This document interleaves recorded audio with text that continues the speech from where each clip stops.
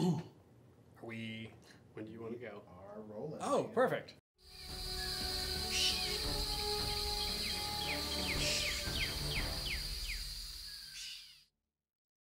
Hey, what's happening? Max from Peak D&D here with my best good buddy. Tony? And uh, this is uh, this part of Talking Fey, part of the Wednesday rotation, where we're doing a talkback on Into the Fey, Luke Hart's campaign module, levels 1 to 5, available on Kickstarter. Check it out, the DM Lair. We're doing our talkback covering everything that's happened uh, since the last Talking Fey in our last two gameplay sessions. Uh, we're each going to get 30 seconds to attempt to recap all of the glory uh, that was our last gameplay session. All right, Max, you want to give it a start? Okay, give me a second. Give me a second. Let me take a breath. Here we go. Okay, so it started off like we're still down in the cavern and there's the altar, and Ben really wanted to go check out the altar, but he only had seven hit points, so it was like, I'm the scout, I'm the thief, so I decided to go through first. And then he was like, No, no, no, I have to go, it's the Fey, I've always been obsessed with the Fey, I wanna go. And then shit just got crazy, but he got out of it, which was great. And we started going back to town, which was also awesome, but we had a lot of things to do. So uh, we had to check in with people, we had to go see Aretha Franklin and give her back our coasters, but we only gave her back some of the coasters because we still wanted some cash monies. And then we had to go to Time's up. Time to go.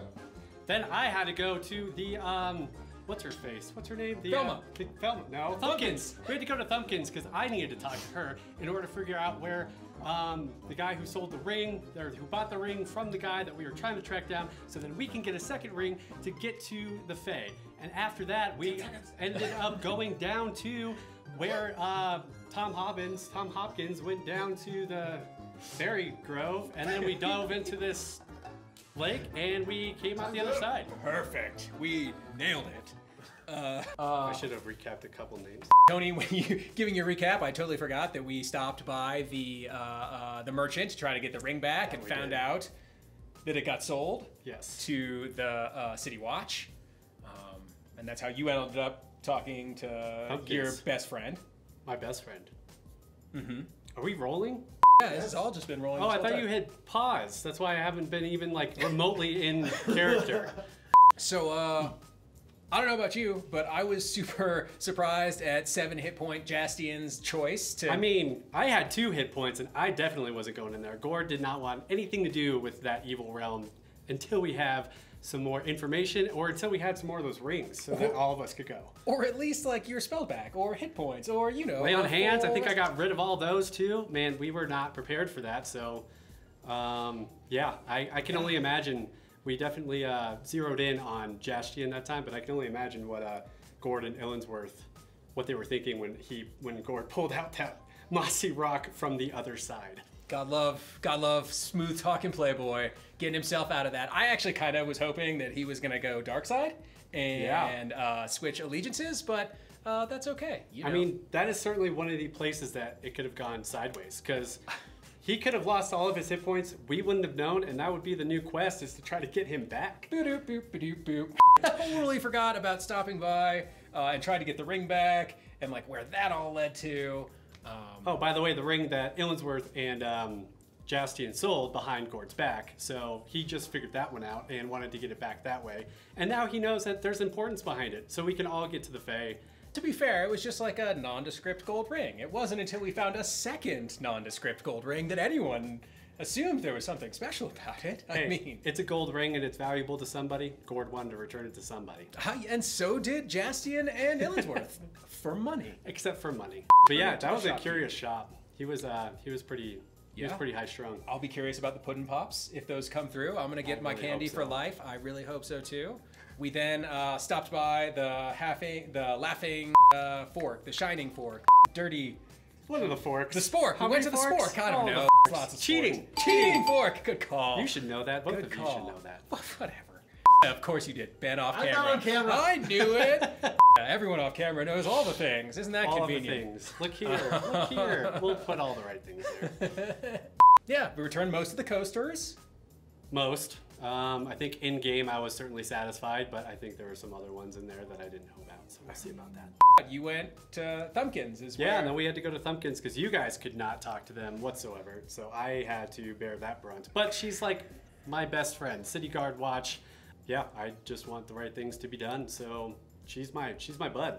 Well, it's good. So it's good that somebody is is close to the law. Uh, Lord knows Illinsworth. Like I haven't got into his backstory, but he does not. He has no love for the police uh, uh, for very good reasons in his mind, which is part of why uh, it was his very bad, no good, rotten, horrible day.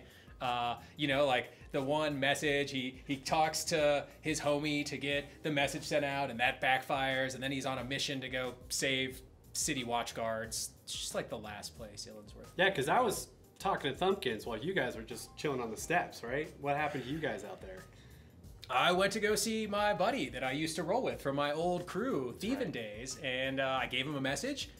He said he was going to deliver it, and he specifically did not follow the advice, and it did not happen. And so now uh, the nice thing about that is we have a plot thread up north to go uh, into another patch of wilderness where the trees attack us. Uh, but of course, Ghourd's plot thread that he found talking to Thumpkins led us down south to um, what was his name? Tom Robbins. Tom Robbins. Tom, Tom Do love me some Tom Robbins. Marbles. Marbles, That sounds Marbles, something like that. Sure. But, um, yeah, City Watch Guard that was uh, in, investigating the Berry Grove that has the gold ring that Ghourd so wants for his party, so then we can all go to the Fade to- together. You don't know how much I am hoping that he is a crooked cop. Like, I'm so, so hoping that he's crooked. Uh, uh, but I guess saving him would be fine too. Might open Ghourd's eyes a little bit if he turns out to be crooked. Yeah. Um, but yeah, we uh, finally, my two companions, um, we got to the Berry Grove, and they have figured out that yes, the trees are alive, and they are trying to kill us. Sound of music. They are trying to kill us, and now we are into the Fey, which is completely uh, blowing poor Illinsworth's mind. Um, but interestingly enough, we didn't need rings to get there this time. We didn't, which, um, yeah, uh, Ghourd's mind is certainly going to be blown at that point, and maybe his, you know, his uh, plot threads might change from being here and getting here without having those rings, because that's why we completely went on this quest is to get said ring.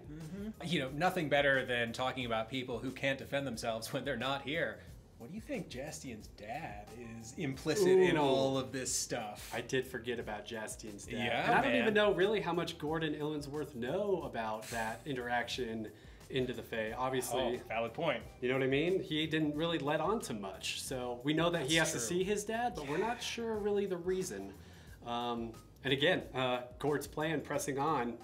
He's the one marching forth on the plans that we do get and kind of directing which ones are more important. So I'm sure Jaastien is just following that ilk to not get to his dad. Yeah, well, he doesn't seem very keen on talking to pops, so uh, that's one thing that to be like I, I'm excuse to be a fly on the wall for that, or to hopefully be a character there for that. Uh, I am really curious about how that's all going to shake out. And of the two of us, which character is more likely to be there on that fly on the wall? You. I mean, I Ghourd's will not going to come anywhere near his dad. Try. I don't know why. You're probably like the best. oh, I want that could, to. Yeah, But I'm sure You're like Jaastien's the- going to swear up and down not getting me there. the like golden boy. Like, hey, dad, look at my cool best friend. Like, he's such a good influence. You divine sense my father. is that is that breaking some sort of okay whatever so i'm definitely curious about that curious what we're gonna find into the Fey. tom marbles Tom Markle? angela merkel what? I wrote it down. Yeah, we'll see. Yeah, Um, man. But then after that, we're we're gonna have to go to Thumpkins, whether it goes south or north, for the party. Um, Ghourd's gonna want to report back as as per usual. timothy maples it wasn't even tom got the first letter right that's pretty Hey, good. we've got the initials right. what are you most excited about for this next gameplay session I'm super excited about the. Uh, we did build the set right afterwards, and it looks really cool. How how blown Ghourd's mind is going to be, being in a completely different realm. He was in a different city, and his mind was blown, let alone a different realm. So. Uh, but again, he's trudging on and he has a point to get to, and that's what he's probably going to do. Fair enough. I, from like a meta gameplay standpoint, I question our choice to not take a long rest. Like Oh, we still have not slept. Like we are definitely not. Uh, we are uh, weakened at this point, and so like to be starting in some sort of gnarly dungeon on a different plane, uh, not at full strength, not typically the way I like to roll, but. Here we are. Um, who knows? Light that campfire and take a rest. Oh, I'm sure it'll be fine. You know, the trees try to kill us, so I'm sure it'll be great to just sleep there for 8 It'll hours. be great. I do remember we did take a short rest. I think Ghourd's uh, all at least HP'd up. Mm-hmm, um, but yeah, spell slots are down and uh, resources are down. So we're gonna see how this goes. Be fine.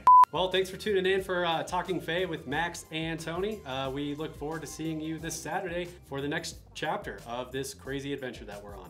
Hell yes. Be sure to uh, like the video, subscribe, do all the YouTube things, and uh, yeah, see you next time. up At the top of the peak. See you next time. At the top of the peak.